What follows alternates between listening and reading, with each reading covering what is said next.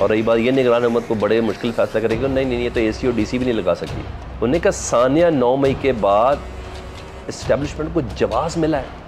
मजीद ताकतवर हुई इस्टेब्लिशमेंट मौजूदा army chief general Asim Munir साहब के साथ हाथ में हाथ डाल के, बहुत करीब एक सोफे पे, जहाँ फैसला साजी हो रही है, वहाँ सियासतदान तक नज़र नहीं आ रहे।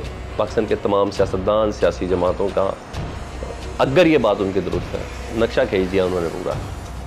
और मुल्क का भी नक्शा खींच दिया अस्सलाम वालेकुम मैं हूँ सलमान हैदर। मोहसिन बेग साहब उनसे मुतलिक सारी दुनिया जानती है, वो कौन है कहाँ से आए हैं कौन सी महफलों में बैठते हैं, उनकी महफलों में कौन बैठता है? ये सब जानते हैं। अगर नहीं आपको समझ तो गूगल करके देख लें। तो एक तस्वीर मैं भी आपको बता देता हूँ, वो तस्वीर है उनकी मौजूदा army chief general Asim Munir साहब के साथ, हाथ में हाथ डाल के, बहुत करीब एक सोफे पर वो वो तस्वीर है और और ये जैसी जब उनकी अलग बरदारी थी और जब चार्ज उन्होंने संभालना था तो ये तमाम चीज़ें सामने थी। उसके अलावा लंदन प्लान का बड़ा ज़बरदस्त हिस्सा रहे नवाज़ शरीफ साहब से लंदन में मुलाकात, अभी हालिया दुबई नवाज़ शरीफ के विज़िट में वो मुलाकात, और उनका एक किरदार ब्रिज का सा है, जिस तरह आजकल फैसल वाडा साहब बहुत ज़्यादा इन्फॉर्म्ड है ना, उतने ही वेल इन्फॉर्म मोहसन बेग साहब हैं। तो मेरा ख्याल है इतना तारुफ इन जैसी शख्सियत के लिए इतना काफ़ी है। और आज उन्होंने तमाम सियासतदानों को उनकी औकात याद कराई, तमाम सियासी जमातों को उनकी औकात बताई। उन्होंने कहा, भाई, आप इस कैपेसिटी के हैं। पीडीएम का किरदार बताया कि वो क्या था और क्या है और क्या होगा? असल ताकत का मंबा कौन है? असल स्टेक होल्डर कौन है? ये उन्होंने बताया और बड़ी अहम बात की उन्होंने। मैं आपको बताऊँ, उन्होंने कन्फ्यूज़न जो थी ना आपकी मेरी कहीं ना कहीं, उसको, थी कहीं भी नहीं, लेकिन मज़ीद उसको क्लियर कर दिया। बड़ी आम बात की, बल्कि मुस्तबिल का उन्होंने नक्शा खींचा। कहते हैं, निगरान हुकूमत, मोहसिन बेग साहब, कहते हैं, निगरान हुकूमत तो मर्ज़ी से एसी और डीसी भी तब्दील नहीं कर सकती।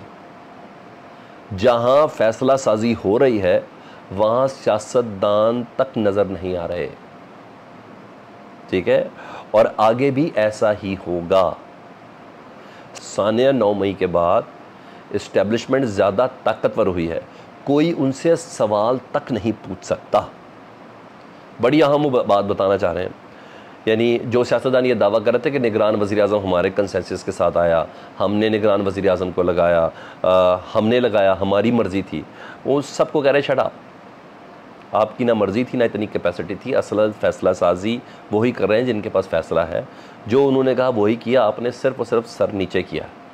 ठीक है? और रही बात ये, निगरान हुकूमत को बड़े मुश्किल फ़ैसला करेगी नहीं नहीं ये तो ए सी और डी सी भी नहीं लगा सकती। ये जो फ़ैसले करेगी, असल फ़ैसला साज करेंगे और उस जगह पर कोई भी सियासतदान कम अज़ कम मौजूद नहीं है। कम अज़ कम, जहाँ ये फ़ैसला करेंगे। और ये उन्होंने बड़ी मानिश इस बात की जो क्लियर होना चाहिए। उन्हें कहा नौ मई, उन्हें कहा सानिया नौ मई के बाद इस्टेब्लिशमेंट को जवाब मिला है। मज़ीद ताकतवर हुई है इस्टेब्लिशमेंट यानी इस्टेब्लिशमेंट को जवाब मिल गया अपनी डेट के लिए।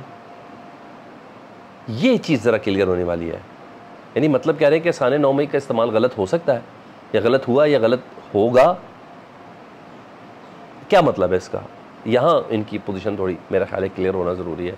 लेकिन मेरी नज़र में पूरे पी डी एम पाकिस्तान के तमाम सियासतदान, सियासी जमातों का अगर ये बात उनकी दुरुस्त है, नक्शा खींच दिया उन्होंने पूरा, और मुल्क का भी नक्शा खींच दिया।